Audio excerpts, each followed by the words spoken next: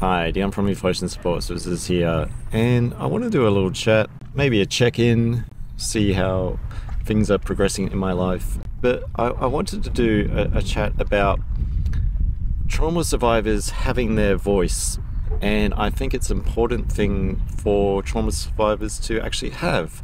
And it is something that is often told to to not have a voice, to to move on, to get on with it, stop stop carrying on like this sort of thing. Or in some regards, the more that you have your voice, the more that the the truth of what has occurred, that what is believed to be the perfect relationship, the perfect parent, has a different narrative. There's a different side to the story, and sometimes in sharing that can lead to people disbelieving in you and not wanting to, to enter into a story. And sometimes it's like with a belief system, what we believe to be true, be it our favorite football team, our favorite singer, our favorite this or that, when there is an alternative view that is actually being presented that is not so nice and is different to what we uh, believe in, we can tend to shut that out or shut that down or only want to believe in one form of uh, view, which is becomes a, a bias in a way. So sometimes when something is presented from a trauma survivor uh, that is different to the, the well-created view of what is actually occurring uh, in the real world, uh, there can be a, a, tendency to want to shut that down. It's like we only want to hear the pretty words sort of thing. We only want to hear the nice things and sometimes that nice thing is just what's being nicely presented. And it's a presentation. A persona of what someone wanted you to believe in. So sometimes when we do hear the other side of the story uh, people find it that uncomfortable truth to be truly uncomfortable. It's like it's more comfortable to believe in what is nice and what is actually accurate so sometimes when trauma survivors start having their voice, especially when their voice has been something that has been continually shut down, because if you think about like if you're being in opposition to what something someone wants of you, then that's going to be an inconvenience to that person that's wanting something from you. Similar to a, a robber breaking into your house sort of thing if you sort of said you know can you get out? And it's like well why are you why are you telling me to get out? sort of thing. I came in here to steal your stuff okay? Stop making me feel guilty. There can be that logic sort of thing where you having a boundary of this is my space, this is my body, this is my emotions, this is my feelings, this is who I am as a person.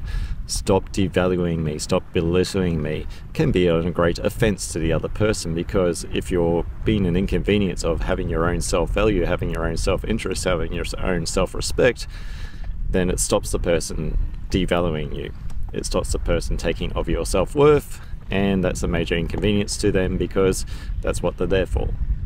So when we start to speak up for ourselves and simply say, no, this is not acceptable, I, I don't like this, this is not in my best interests, uh, that can be a scary thing for a trauma survivor because if you're grown, if you've been raised in a household or been in a relationship where this has been promoted, then your disbelief system of yourself becomes your belief system because you're being conditioned to believe that who you are as a person is entitled to have no worth, is entitled to have no uh, value because this is an inconvenience for that person if you start to have your own forms of self, have your own identity. And it can even be in a recovery journey where you start to get better and the other person is actually threatened by you getting better because it means that you will go away because they're starting to put up the lock on the door, the boundary, or they might be starting to close some doors on some people that have been clearly taking of their own identity. So when we start to have our voice, we're starting to stand up for ourselves, stand up for that inner child, stand up for who we are as people. Uh, that we are not here to be taken off, that we do have a right to uh, life as everyone else, that we are deserving of things and deserving where it's not where we feel selfish, just deserving of our right to be a human being, not just a source of supply. And when we start to do that, it can be actually a lonely journey. It, it's kind of like, well, I mean, if you've had friends that are heavy into the drink and you decide, oh, you know what, I might give up drinking, and then you realize that those around you don't like you giving up the drink because that, that that's how they self-soothe that's how they have fun that's how they connect sort of thing. And now you're disconnecting through their form of connection which would be alcohol. So sometimes people can be quite bitter about that because you're getting better. It's like oh that you, you think you're you're not good enough for us anymore. So that thinking that you're not good enough anymore is you starting to have what feels good enough for your own self. And sometimes that will mean a separation from what, what, what was known, what was familiar, what was comfortable for your own self, your own patterns of behavior. Because uh, misery likes company, sort of thing. So those that are associated to the, the, the caring or loving people in our life have normally had the same sort of conditioning, sort of thing. I mean, it is not to say it's a blanket all statement, and similar to what I was saying before, the more that you start to speak up to for yourself, the more that you present a different narrative to what is actually being happening, the more that those people that really wanted to believe in that uh, perspective, that that persona, what is being presented by the, the, the abuser in your life, they they don't want to have a bar of you because that goes against their conditioned belief and what is comfortable. And anything where you present a different view, it's like, oh no, it, it becomes a dismissal statement. It's like, oh no, it's it's not that way. Uh, I think you might be being silly, and that it's like they're not really that. But I, think you're just taking it too far. These sorts of things. You know what happened for you. You know your version of events. Uh, and if you're having to justify to people your reality, and your reality is being belittled or not even being heard, then it, it, it's kind of a case where those people might be in the same boat as the abuser, where your version of events is, uncomfortable for them to hear. It's more of their discomfort rather than your reality of what have, has happened to you. So it can be a lonely road uh, to recovery and it kind of leads me into uh, like kind of a, like a check-in sort of thing. It's like definitely for myself, it's like uh, kind of calmer waters, pardon the pun. It's to a point in my life where the old patterns where I had to survive to to be on the ready, to be hyper vigilant all the time, are, are, starting to subside. It's starting to calm. I wouldn't say it's like oh peace and love and and that. I would just sort of say a lot of what I've had to struggle through is no longer becoming a struggle. I still have struggles, of course. I still have things that I'm dealing with, but it, it becomes where that separation from the storm, you start to, to, to walk into or flow into calmer waters.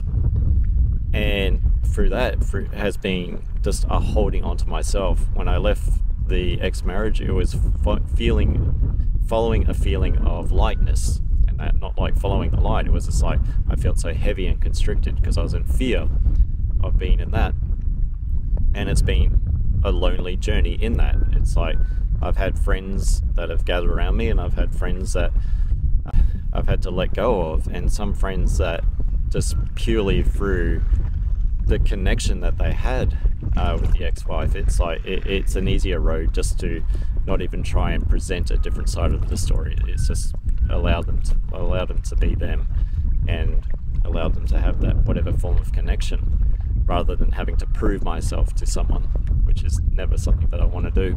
With the family and that, it's like still no contact and all that, and it's like there's still that emotional struggle, but I'm forming other connections. It's like for the Taoist temple, it's like it's becoming my my other family. At the end of this very busy week that I'll be having this week, uh, I'll be helping out with a, a, a breaking the house ceremony, which I won't go into too much just out of respect. But I'm being more and more included into that, and it does feel like a family. And also, like I, went and saw my good old friends Dom and Danny, uh, who have been touring around Europe and now settled back in Australia, and it was a really good uh, connection. And I, I really, the, the, there have been two people that have been very valuable and very influential in my life and very loving and caring towards me.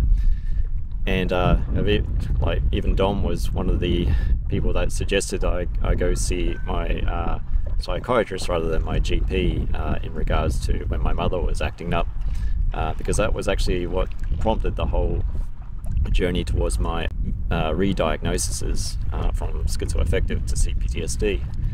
So very influential people, and Danny is a very loving and caring person, and um, I adore them both.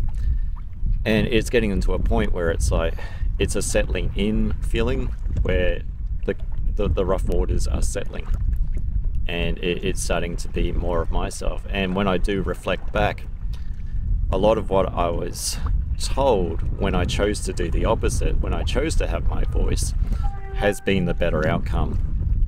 It's almost like not being arrogant, but it's almost like knowing, trusting the gut, knowing what works for me. Because everyone knows what works for themselves, but that works for themselves, not for myself. so it's taking in that. So definitely when it comes to the Eflowtion Support Services business, there's going to be a lot of uh, redevelopment rework. And once I get the Buteyko method or properly certified, I've done the test, I've passed it. Um, I've just got to do the case studies and finish off the rest of the required viewing. And it means a new beginning also for Eflowtion Support Services, back to how it should have been in the first place. And I'm fully grateful for my awesome support work clients. It's like the chucking more hours at me sort of thing because I'm just naturally good at what I do.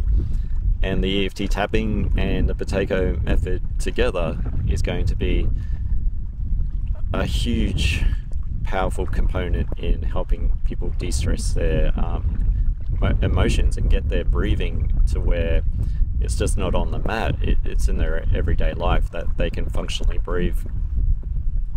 So, yeah, it's having a voice and making sure that the, the voice is not a, a, like a, a pointing or blaming voice and all that. We, we want to learn from our experiences and, and, sharing of our experiences and knowing that some people are, are just not capable or have the capacity or even the understanding or even the emotional maturity or even just the time or energy to, to sometimes hear quite heavy emotions and sometimes it's finding those people that can actually hear that voice and, and respect that voice. And sometimes it is just holding a space, similar to like hugging a person. It, it, you're just you're holding a space. You're holding that person in that moment. You're not trying to be anything but a comfort in that moment. And when we've been just filled with like disbelieving statements, statements where we're not allowed to be ourselves, sometimes connecting with a person where we can just be heard and be seen is a huge healing step to where we are valued. Because when you're heard and when you're seen you're of value. You're being heard. Someone's taking the time to actually hear you and that might sound like a small thing to most people but for people where that's never been allowed or allowed to happen it's like it's a massive thing so keep being your awesome selves, keep going with that flow, and uh, I look forward to doing more videos. I'll see how I go with this week. This week's going to be extremely busy, so I'll try and chuck in some uh, videos here and there, but it might be a bit of a quiet week for me. Very busy week. So I'm Dion from Eflowtion Support Services, and keep on flowing. Bye for now.